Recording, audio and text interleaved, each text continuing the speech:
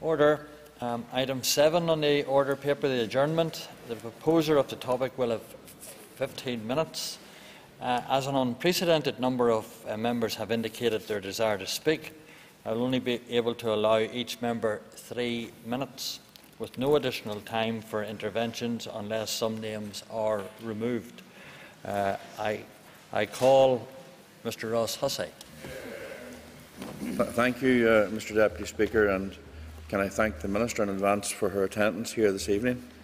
And the fact that so many members are still in the chamber is an indication of how serious the members are taking this particular issue. And I'm going to start by just putting a question in the air, and that question is, when is a parent not a parent? And I'm going to follow that up with, when is a child not a child? I'm going to leave those questions in the air for a few moments. Any of us from my part of the world and other parts of the world that have attended meetings with the, the parents of uh, children, and I refer to them as children, with learning disabilities or intellectual disabilities, will understand the frustration and the pain these people have suffered over the past few years. In April of this year, I was contacted by a constituent in relation to the underspend in the Western Health and Social Care Trust on adult learning disability services. As we were in a period of purdah, I wrote directly to the Chief Executive of the Western Health and Social Care Trust. And following that, myself and several other MLAs from the West, Western Health and Social Trust area were summoned to a meeting in Londonderry. And some of those members are here in this chamber now and we were given a presentation. And that presentation really raised more questions than answers. The figure of £8 million was floated, that £8 million may have been underspent in these services. And one of the worst comments, I think, from that particular meeting as we left was, well, we may have to balance the books, but that money may have to come from the services for the elderly. And I see members here nodding. That is exactly what was said to us. But nobody could identify this particular figure or where it comes from. I'm now going to go off script slightly. I'm going to read a portion of a speech that was given by Gemma Doherty, or Gemma McGorty as she was, from Garrison and County Fermanagh. I started work 40 years ago today, Mr Deputy Speaker, and I know you're about to say I'm far too young to have been working 40 years, but 40 years ago today I started working, and I worked with this lady's father. And the letter she has written concludes the speech she made. My final thought today is this. We, the parents and carers of children and adults with disabilities, are soft targets for all those who are supposed to be providing a just and equitable system for us all. They know that we will make ourselves unwell as we turn ourselves inside out in an attempt to take care of our children. They know that we will never abandon them. They know that in many, many cases, a sibling will take over the role when we are no longer fit. They know we are too exhausted to have enough energy to make phone calls and write letters. And they know that for years and years we have not told half the story because we don't want to appear to let our children down or make it sound that we don't love them, or say that we can't cope and that has suited them. They talk about equal rights for all, yet we all know that even highly intelligent people with physical or mental disabilities find it very difficult to gain employment and face discrimination every day. And as for the children and adults who have the additional complication of a learning disability, well, have a look at Western Trust policy to see what they and their carers' chances are. Most of us know somebody with a learning disability. Most of us know the parent of someone with a learning disability. And how many of us can say that we could do the job they do? My aunt and my uncle had a daughter who had Down syndrome. And my cousin was one of the brightest people I have ever met. If she met you once, she would know you again 30 years later. But my aunt and my uncle were well into their 80s when my cousin passed away in her 60s.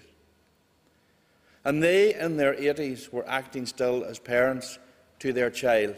Back to the question when is a parent a parent? A parent will always be a parent. But when you are dealing with someone with learning difficulties, you are there on your own in many cases. In the public meetings we have attended, we have seen parents in their 80s bringing along their 60 year old child. That person to them is their child, and that child is fully dependent on their parent. And over the years, the Western Health and Social Care Trust, or the Sperrin Lakeland Trust, or the Foyle Trust have taken money away from the services that these people should get. When did this start? Well, we know it started at least in 1994. And in that time, there was an underspend of £4 million. These are the figures that were uncovered. When we asked the Trust for an exact figure, we are not going to be given an exact figure. If it was £4 million in 1994, and if it is £8 million in 2016, is the figure cumulative? Is it 4 million over the 20 years, so it's 4 million, 4 million, so we end up, when we start adding on inflation, that we're talking in excess of an underspend of an excess of 100 million pounds. Is that the figure? The people that look after adults with learning disabilities are convinced that is the figure. That over £100 million has not been allocated to the parents or to sufferers with adult learning disabilities. And if that is the case, if that is the case, shame on us. Because for 20 years that was allowed to happen. What have we been doing to help those people? And if I was sitting in this chamber today and I was the parent of a child with learning disabilities, I would think you have done nothing. You have turned your blind eye on these people. We didn't know, and that is quite honest, we didn't know. But shame on us for not knowing. Since I became a member of this House in 2000 and whatever it was, 11, I have often dealt with parents of children with learning disabilities. And I've accepted the story from the Trust we don't have the money. We do not have sufficient funds. But if they do not have sufficient funds because they siphoned money off that particular area, shame on them. If that was allowed to happen under the management of the Trust, shame on the Trust. If that was allowed to happen under the supervision of a board, Shame on them. If that was allowed to happen under the supervision of the department, shame on the department and shame on this House for allowing it to happen. So there are answers that we need to have. But there are also things that we need to know about who was responsible for this. And I know, and we all know in this House, civil servants are never responsible for anything. Civil servants cannot carry the can because, oh dear, that person just happened to retire last month, or that person will be retiring next month. This is a 20 year scandal, uncovered by the RQIA apparently. A 20 year scandal, so now is the time for us to uncover the truth. Every single piece of paper that is available must be made available. Every single pound that was taken from the service must be given back. Whenever parents in their 80s cannot get respite care because we did not give the sufficient money to them, that is wrong. But if this trust did it, and if this trust management board allowed it to happen under the supervision of a healthcare trust, there's quite a few heads have to be knocked together. And when they all head off to their golden retirement with bucket loads of money, what about those they are leaving behind who still have to deal with this. As Gemma's letter says, now Gemma is a lady in her 40s. Gemma has looked after three children with learning disabilities. Two of them have degrees. The third one is at home. During his childhood and adolescence, and now into adulthood, sometimes this person is very difficult to control. Wrecked televisions, wrecked rooms, whatever. And that parent for 20, 25 years is looking after that adult. And then when we look at an adult who is in their late 50s, early 60s, and have a parent in their 80s attempting to look after them. And when they ask for respite, it can't be given because we have closed. We have closed many of the houses that we use for those services. Why? Why did we close those services? Because somebody said three people living in one house can't share a bathroom. All the facilities must be en suite, so we'll close it or we have withdrawn the service because we don't have the money. That's not the case. The money was there, but the money was redirected. Myself and others met with MenCap on Friday morning. Part of our, our, our new system in West Tyrone where we're going to regularly meet with MenCap. And these are the key issues that they have asked me to raise here today, and I'm going to list them, Mr Deputy Speaker. As we currently stand no health and social care trust can identify all those with a learning disability within their trust area. On average, each trust can only identify those with the most severe learning disability. Across all trusts, this is 9,600, and in the Western Health and Social Care Trust it is, we don't know. RQIA identified in 2013 that there was underfunding by 5% per annum in the Western Health and Social Care Trust of Learning Disability Services. We are now in June 2016. Why has it taken so long for this matter to reach the public agenda? Well, it's here today and it's not going away. What action has RQIA taken to hold the Western Health and Social Care Trust and the Health and Social Care Board to account for this? RQIA should, as a matter of public confidence in their role, explain their action and how they try to address this situation. HSCB must, as a matter of urgency, publish the review of expenditure on learning disability services across all trust areas. The review undertaken in 2013 details the level of underfunding and should be made publicly available. The Western Trust must detail for each year from 1996 how much funding they provided to learning disability services and by what percent they were underfunded. It is estimated that the underfunding was approximately 5% per annum, amounting to some £8 million in any given year. Families in the Western Trust have indicated an underfunding situation since 1996, and this amounts to approximately £80 million of services that families and adults with a learning disability have been denied. I personally think that figure is in excess of £100 million. The Western Trust must identify who took the decision to move funding allocated by the HSCB for learning disability to a different programme of care. The Trust must identify where this decision originated and who ratified this decision. Did it go to the Trust Board for ratification or was it ratified by senior management? In real terms, this decision has meant families continuing to care while they were at breaking point, putting lives and relationships in danger. Carers continuing to care during their 70s, 80s and even 90s, as they despaired for the services they needed. Adults with a learning disability being denied the services that would have enabled them to have a better quality of life. Failure to provide services that meant adults could be part of their community. And failure to provide housing and support options that would let adults with learning disabilities live independently. It is essential, Minister, that there is now a robust and independent inquiry into how this could and did happen. We need to know how much was underfunded in the Western Trust area. And that doesn't matter if you come from Lisnaskea, Londonderry or Limavady. We have four counties, I think, affected here. We have at least four parliamentary constituencies. We have hundreds of families. Why did we let it happen? Back to the question, when is a parent a, a parent? A parent is always a parent.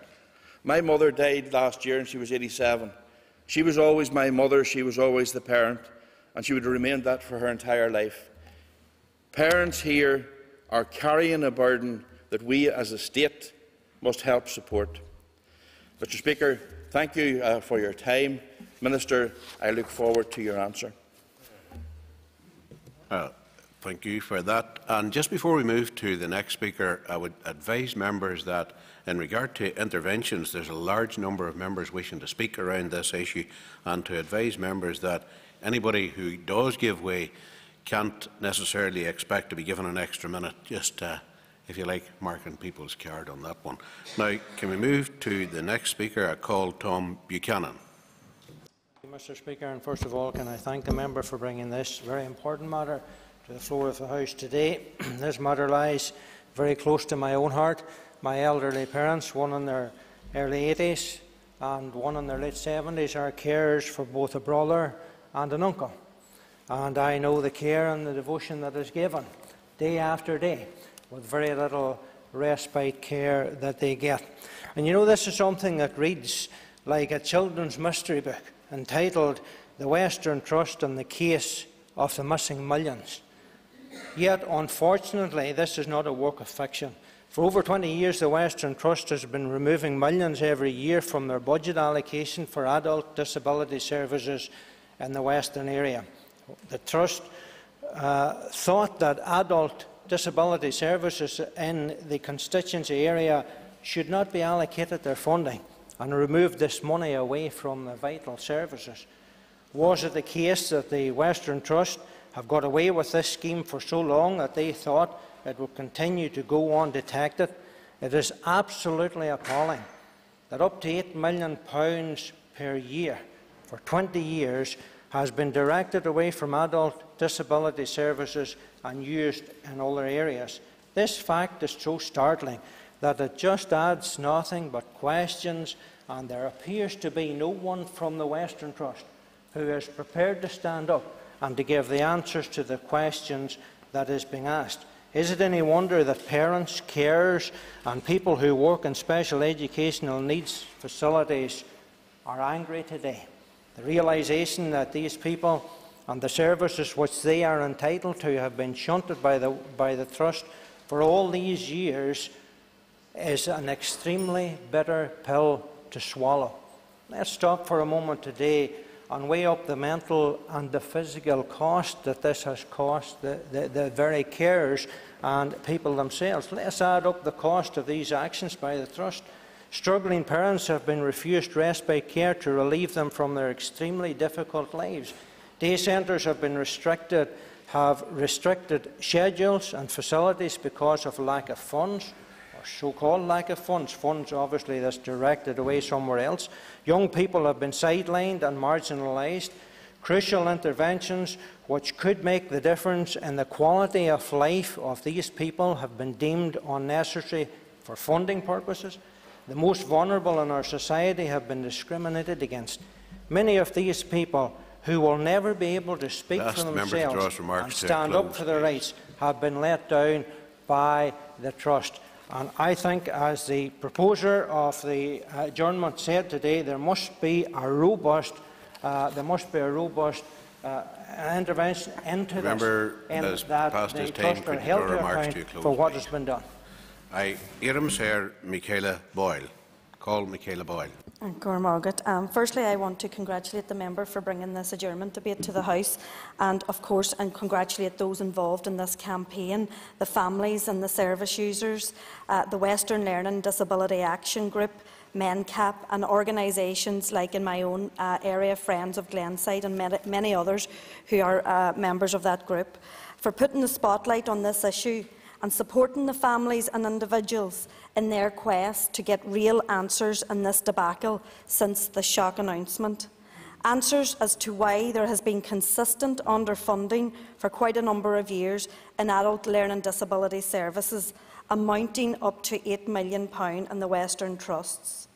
Families uh, of adults with a learning disability have made repeated, repeated representations over many, many years to the former Western Health and Social Care Board and the Health and Social Care Board, and indeed the Trust, about the lack of services for learning disability in the Western Trust compared to other trusts. And on a number of occasions since 2002, carer representations from the Western Adult Learning Disability Group have presented to the former Western Board and the Trust with their analysis of actual expenditure, which pointed to significant levels of underfunding. This, uh, Mr Deputy Speaker, fell on deaf ears. Families believe that they have been ignored whenever they presented to the Trust with this information. And I, like others, on the 20th of May, did meet uh, with the Trust officials uh, on a briefing in relation to how this underspend came about. And I suppose to put into context how that, that came about was we were informed it was down to a resettlement programme going back a number of years. A learning disability can affect many people's lives in many ways, as has been said, causing difficulties in learning, communication and tasks of everyday life. So this is what we're dealing with. Uh, the impact of this deficit on adult learning disability services across the Trust will now need to be fully documented. Families have continued to cope with the caring role with limited assistance and at great cost to family life, health and income.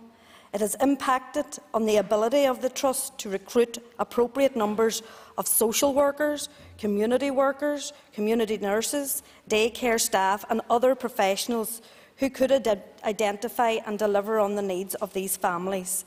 The pressure on the frontline staff in trying to cope with unrealistic caseloads and maintain some services have an impact on delivery. This needs to be addressed, and as a member said, there are key issues that need to be explored in this. Uh, Sir Mark Durkin. Call Mark Durkin. I would agree with everything that everyone has said uh, thus far, But from one point uh, from the proposer, uh, Ross Hussey, when he says, we didn't know, and the shock expressed by other speakers, this issue didn't just drop out of the sky. The issue of the deficit for learning difficult, or spending on learning disability in the Western Trust had taken on almost mythical proportions over uh, a number of years where people would have heard about it. It might have reared its, or raised its ugly head uh, during the annual furore over uh, places in, in daycare provision, for example, for young adults with learning disability, but it was never confirmed. And I won't be the only person here who will have raised questions about it, only to be bamboozled, in effect, by obfuscation and denial. Now, finally, it has been confirmed by the Trust uh, that there ha has been a huge and historic underspend in this area. Now, the feeling on the ground of the families that I've spoken to is any indicator, and, and I think members from elsewhere across the Trust area have confirmed it today, is that had it not been for the RQIA report and its imminent publication, that the Trust wouldn't have, uh, ha have come public about this underspend that, in fairness to the Trust, they've facilitated meetings with us as MLAs and elected representatives. We've asked a lot of questions. We have, as Mr Hussey said, probably come away with more questions. There are layers and layers. I said layers. Uh, the, the deficit, it seems, can be traced back as far as 1994 through legacy trusts and a myriad of bureaucracy and a failure to address it means it snowballs from £4 million, we think, in 1994 uh, to what Mr Hussey assumes in the wording of this motion uh, uh, and the figure we're all using today is probably in the region of £8 million. And for those of the who are listening or, or reading this that might not be aware, that's per year for over 20 years. Millions and millions, tens of millions of pounds, possibly over £100 million that hasn't been spent on services for some of our most vulnerable members of society, and that is just shocking to say the, the least. It's my understanding that RQA are currently completing a further uh, study that should establish the full extent of the underspend. But how could anyone calculate the full cost of that underspend? The physical, emotional and mental cost uh, to service users or people who wanted to use a service were, were being denied. The member to draw his remarks uh, to a close. And their families, as they fought for services for their loved ones and for support for themselves, The cost of that is immeasurable. I call Gary Middleton. Thank you, Mr Deputy Speaker, and can I thank the member for bringing this uh, very important topic to the floor uh, today. Uh, several weeks ago, I went along to a public meeting in the City Hotel, my own constituency, uh, where family members and uh, carers and uh, fellow elected members were gathered to discuss this very serious issue. And it was understandable at that time that there was a high level of emotion, um, hurt, there were tears, there was anger. And of course, uh, we as elected members uh, shared in that and voiced our own concerns um, and our own uh, anger at it as well. And of course, we did meet with the Trust um, on the 20th of May, as was mentioned. And it was a useful meeting, albeit we did leave with more uh, questions than answers.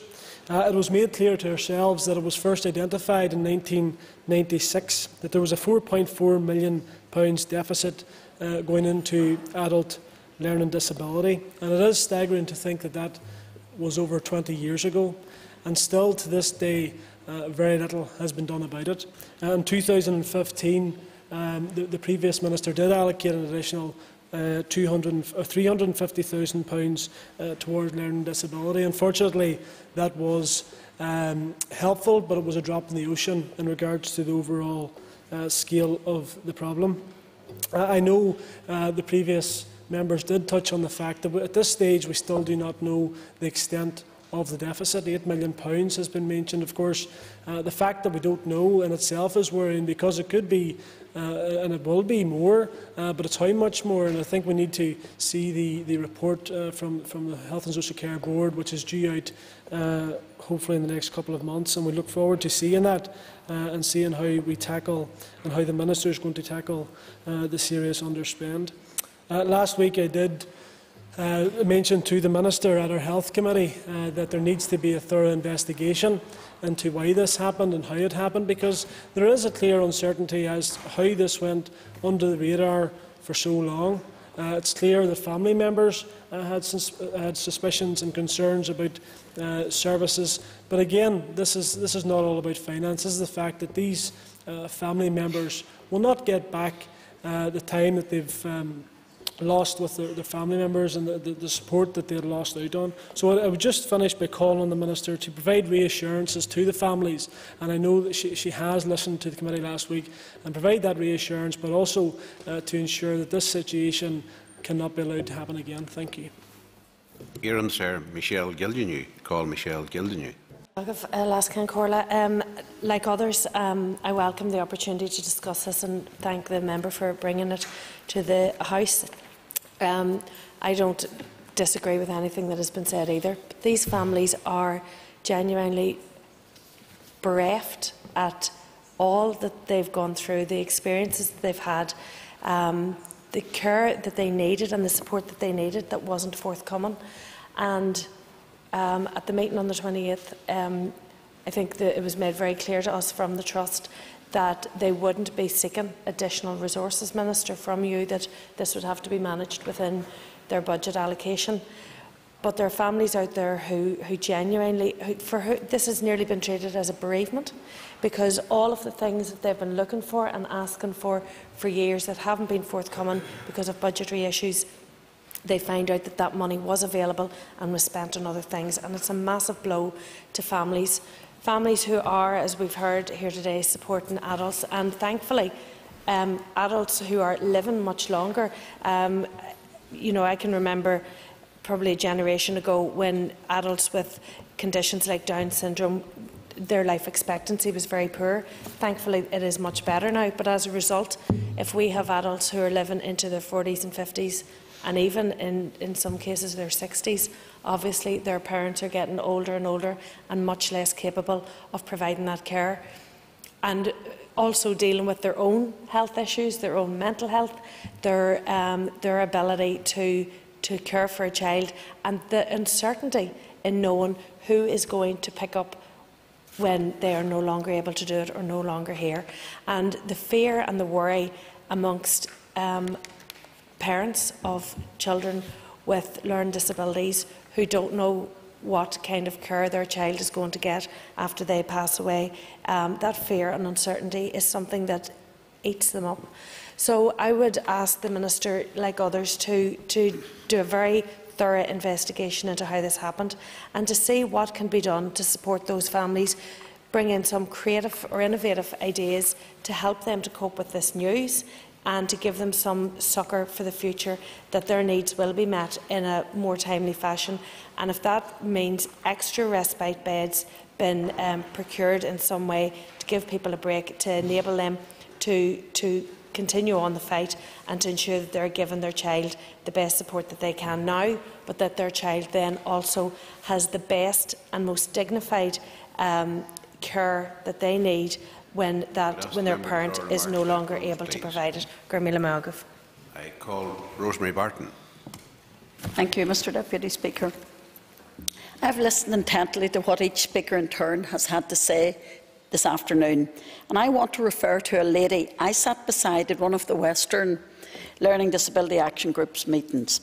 At this meeting, she spent most of it wiping tears from her eyes and becoming more and more emotional, frustrated and angry as the appalling extent of the underspend became apparent. She explained how it was a continuous battle over the years to have her family member assessed, then a fight to find an acceptable school, and during that time, and how, as her child reached adult, she had to move house from the country to the town so that she could avail of some of the provision provided. As a carer, she felt totally isolated, with no one to turn to. This is only one example Generations of adults with learning disabilities, I believe, have been deprived of the opportunity of a better life. Many families have had, have had detrimental effects on their personal life and family life, with financial, which financially no compensation will ever redress. However, I do urge the Minister through the Western Health and Social Services to start working immediately with all the families of the adults with learning disabilities and cut through the red tape in relation to immediate support on respite services, daycare, social work support.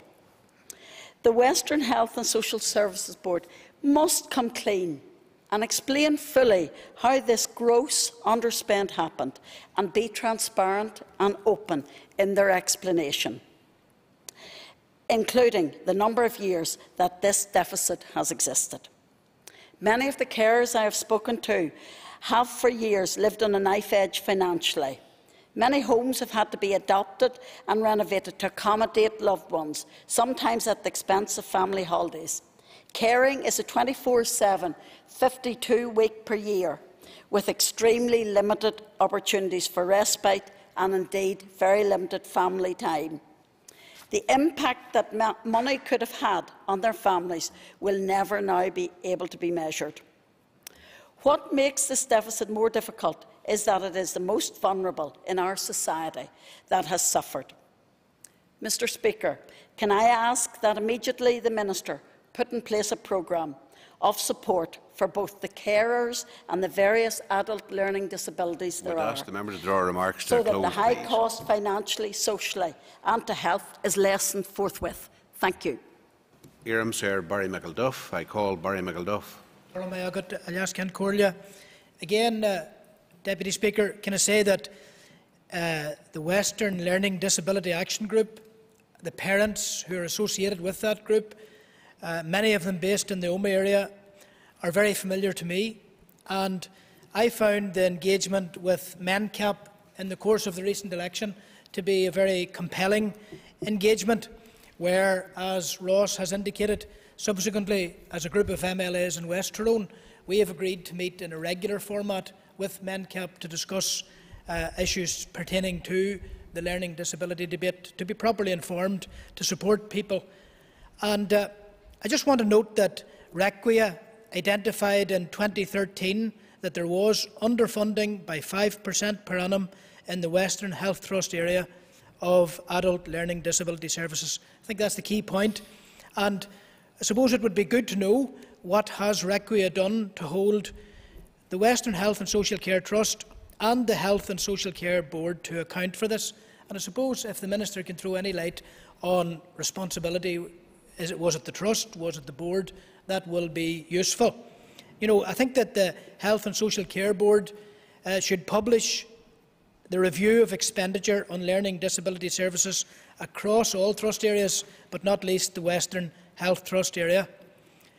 I want to commend families, parents, carers who care for adults with learning disabilities and indeed children with learning disabilities, and proper funding would enable them to have a better quality of life. I do identify with what Michelle Gildernew has said, describing the experience for many of the families of learning about this underfunding over a lengthy period of time, describing it in terms of a bereavement. It did appear to me to be like that, and uh, I just want to support Michelle Gildernew in the point that she made. But in relation to the future, you know, I am supporting the call for much improved respite services for ageing carers, for adults uh, who care for other adults, for families. And uh, where should the money be taken from? Well, it definitely should not be taken from domiciliary care, as was hinted at in one meeting that I attended. Um, I think the, the key point is that there is a major disparity of support services across trust areas, and I think that parents, for example, in the Omagh area and the Strabane area, other parts of the Western Trust area, they look enviously across at services enjoyed by families, member to draw remarks to by close, families please. in other uh, health trust areas. So I just want to add my voice to the consensus that is here today, Deputy Speaker. Uh, Iram Sir Daniel McCrossan, call Daniel McCrossan. Uh, thank you, Mr Deputy Speaker, and thank you to uh, my constituency colleague Ross Hussey for bringing uh, this debate to this House. Given that we have a limited time frame uh, uh, in, in, terms of the amount of people looking to speak in this, I'm going to get straight to the point. Uh, Mr Deputy Speaker, Minister, this was an unprecedented scandal. We are not getting answers. Is it the Health Trust? Is it the Health and Social Care Trust? Who is responsible? We can't even get those answers in relation to this um, unbelievable failure in relation to the most vulnerable people in our society. How on earth is people supposed to have trust in this House if we still haven't got those answers? We still don't know if it's £8 million a year or less. We still don't know that. How are we supposed to get the answers for the people out there that are suffering day and daily until we can answer the most simplest of those? People are suffering. And you're right, Michelle Gildernew is absolutely right. It was like a death. We stood in those public meetings and we watched tears, we watched people cry, we watched people's lives ripped apart before them. And even yet, even yet, Minister, Mr Deputy Speaker, we cannot get the answers to the questions that we have. This is the most important debate, in my view, that has come to the floor of this House at this juncture. And I would sincerely hope that beyond this point that we can get the answers that are necessary. I would like to commend the people that have brought this to the public domain, the families that have been saying for years for over 20 years that something is wrong. They knew people in other trust areas that knew they were getting better services than we were. And the most disappointing thing about this, Mr Deputy Speaker, is that when we asked who is responsible, Dan, this isn't a game of pointing fingers. Well, I'm sorry, but someone needs to be held to account for a, a lost life, because that's what that is to the many people and many families out there, a lost life. Mothers, fathers giving up jobs, to look after their loved ones, to look after the most vulnerable in our society and ensure they had that, the, the most important, fundamental, necessary care that should have been a protection from the trust. It should have been. And they're in the gallery, some of them. Frances McHugh is listening attentively. And I want to commend her because she is one of those people that have suffered unnecessarily. We can go into the ins and outs. We have three minutes, but my point is simple. Minister, Mr Deputy Speaker, this House, those families, our communities, the Western Trust area, wants answers, deserves those answers, and must have them. No more of the dog, the tail wagging the dog. This the member to draw his remarks to a close, please. Uh, Iram Sir Raymond McCartney. Good. Uh, I'll ask conclude. Thank you very much, uh, Deputy Speaker. And again, can I commend Ross Hussey for bringing this important issue to uh, the Assembly today. I think you know, all the issues have been fairly well and truly articulated. There's just a, a number of points which uh, I would like to make. Uh, I met with the families in Derry in, on uh, May the 18th, and one of, one of the things that actually struck me about the meeting, and there had been a public meeting in the City Hotel previous to that, was that the families had, had known for a long number of years uh, about this, and, and despite their best efforts to, if you like, to break through uh, the barriers that were surrounding it, they always knew that there was a, sense of underfunding, uh, that our services were being provided. And the other thing that struck me, despite the, the obvious emotion, and people here ha have spoken about the emotion uh, surrounding this issue, was their, their positivity and their determination that for them and the way forward in this was to right the wrong that had been uh, brought upon them and their families and the people whom they care for. And I think that's important that, that we lend our wit to that positivity to ensure that we get resolution for the problems which are, are undoubtedly have been there. Uh, other members have alluded to uh, the meeting, the, the Trust uh, briefed us on the 20th of, of May in relation to this. And I think uh, the Trust accepted that there was underfunding. They accepted that the funding had been provided and given to, to other services. And I think that in itself is, is where the focus should be, how, how that was allowed to happen. I think that was the, the main thrust of the conversation from my recollection that particular morning.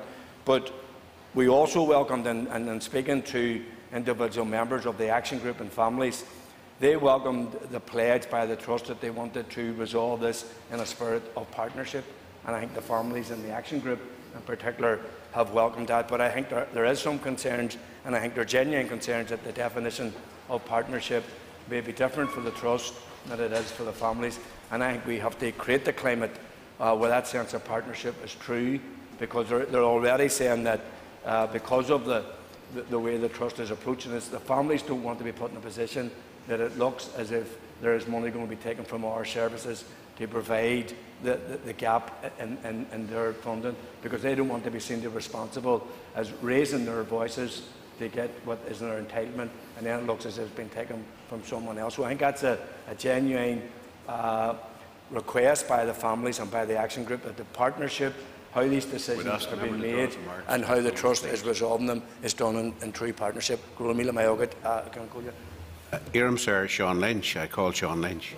The last Concordia and most has been said uh, to date, and I agree with all the speakers, and they have ventilated everything very well. But how can we go forward and, and give hope to these families? Because we've all listened to them, we have been at the meetings, and uh, I would say uh, to the Minister, the Trust needs to work with uh, those, these families and the Department and put in plan a, uh, to rectify this gap in funding because that's what families need.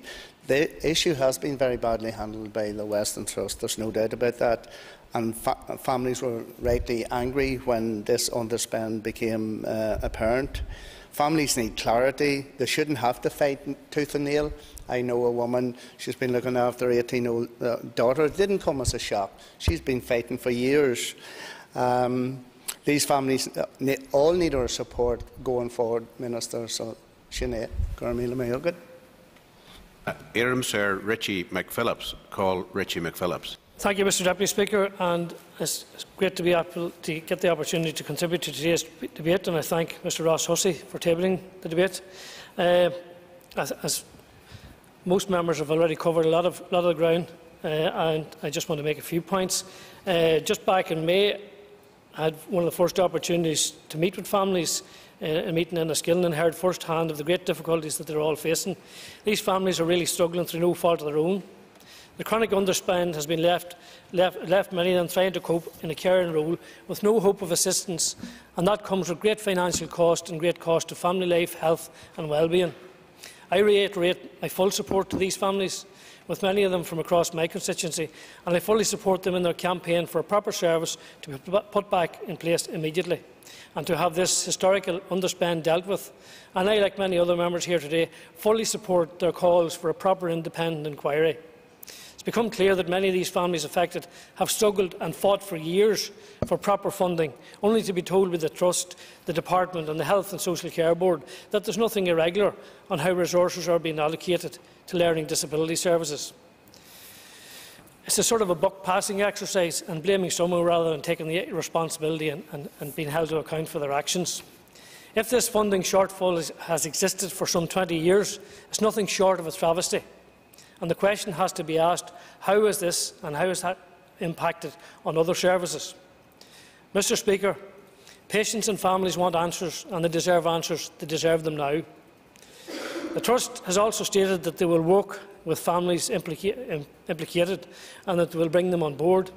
But I have to report that I had a visit to my office in Lisnaskea by one of the parents and she advised me last week that no contact has been made to date to take them on board. Is this yet another empty promise?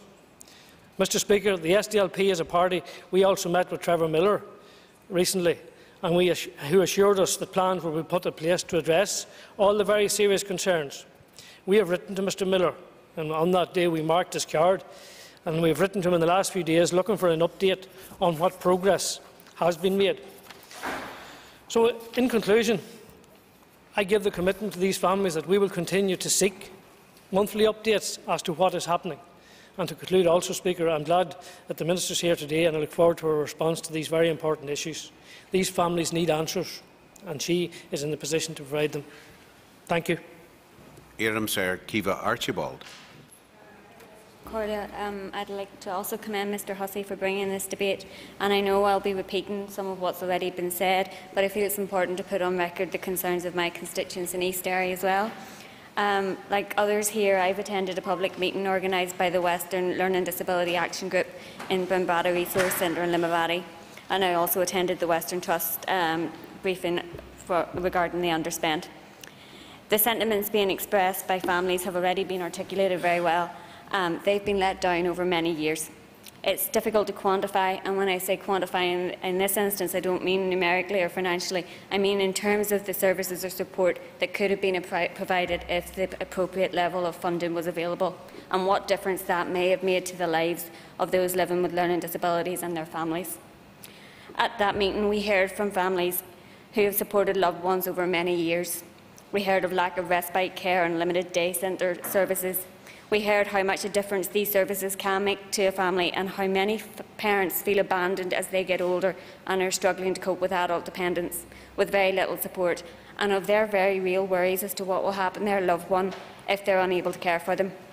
We also heard about the massive difference that real effective support from organisations like Destined can have in the lives of those living with learning disabilities and allowing them to reach their full potential. Our citizens deserve nothing less than to have those opportunities, and it's a travesty that more of those types of support services are not in place. It's important now that we learn from this. Families have called for an independent inquiry, and we support that call. We need to get a full understanding of the level of underspend, of how this was allowed to continue over the considerable period of time that it occurred, and we need to address that underspend with a similar level of investment. We need to listen to what the advocacy groups and support groups are, and also individuals are telling us about the type of care and support services that are needed and we need to work to deliver in those. We need to have different models of support, trust delivered, direct payments, whatever it is available for different individuals to access depending on their circumstances. Family need, families need to know support is there for them and their loved ones as they get older. And young people who are currently struggling to cope with learning disabilities need to have hope that they will have support into the future. I know we have a receptive Minister for Health who's open to listening to all these suggestions, and I'm confident she will ensure this issue is fully addressed in a way that's acceptable to those most affected. Garmagat. on Call the Minister of Health, Michelle O'Neill, to answer. Can I, um, like other members, I mean, from the start, I want to recognise that I do also believe the issue has been badly handled. I think that the families and carers do deserve answers, and that's certainly going to be my job of work. Um, as I look at, at, the information that's in front of me, I think that most members have all spoken, all members have spoken very passionately and spoke about the real face of this issue, the real um, challenges for those people who care for their loved one who has a learning disability. So I think it's important that we're discussing it today, and I think that it's right and proper that um, the issue has given rise to a great deal of concern right across all the political parties and the, um, among families, obviously, and communities in the Western Trust area. Before I address the points that have been made during the debate, I want to assure all those families that I do share their concern and that my, my priority is to ensure that their voices continue to be heard and listened to as the Trust seeks to resolve this issue. As I said in the Chamber last week, I think in response to, um, to Ross Hussey in terms of question time, it was the level of concern that was expressed by family members when I first came into office. In my first um, week in office, I sought an urgent briefing with officials which confirmed that the nature of the problem concerning the funding of adult learning disability services in the Western Trust is an historic one, which other members have um, referred to today. I'm aware um, that the figure of 8 million is a figure that's been discussed and quoted widely in recent weeks, and the amount of underspend the Trust needs to address. And I think it's important that we don't, I think because other members have even referred to other figures here today, we don't have the quantity of the figure in terms of um, the information. Some have even referred, I've listened to some people saying that this is going back um, over 20 years, so we could be looking at an even larger figure. So just to be very, very clear to the families that are listening to this debate today, because I don't want to cause any more angst to people who are already um, extremely concerned and angered by what they have seen to um, unfold over the number of years. So I absolutely understand why families are anxious to know the actual figures involved. So my um, focus at this point is on ensuring that they are fully engaged in the development of the plan going forward. The Western Trust is now urgently working on, um, with the support of the HSC board to robustly and accurately quantify the spending gap that has occurred. I think that's really, really important in terms of providing that information and that clarity so we know the scale of the problem which we're dealing with. I've also listened to members refer to the, the need for real engagement with families and carers, and I'm disappointed to say that, or to listen to, to um, some of the evidence that suggests that the Trust still hasn't learned its lesson and is actually still not engaging properly with families. So I'll make sure that I take that on board and relay that to the Trust to make sure that there is proper and real engagement. Um, I think that the plan in terms of going forward will set out how the Trust intends to address the gap, which is obviously something that families want to know about and be involved with.